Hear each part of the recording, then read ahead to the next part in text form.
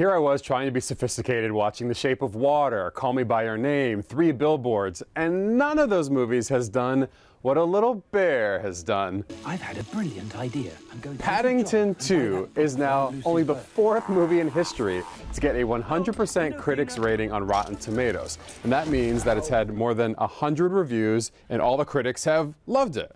And yes, I am talking about Paddington Bear, like the talking bear. Now you do dog food commercials. I don't even know what happens in this movie. Something about Paddington getting accused of a crime and landing in prison, and also Hugh Grant is there. Whatever is going on here, critics can't get enough of it. They're utterly charmed. I mean, listen to this gushing review from NPR. This bear is constantly striving to earn the approval of the humans in his life. One day, maybe, we can all be worthy of his. Ow. What is happening?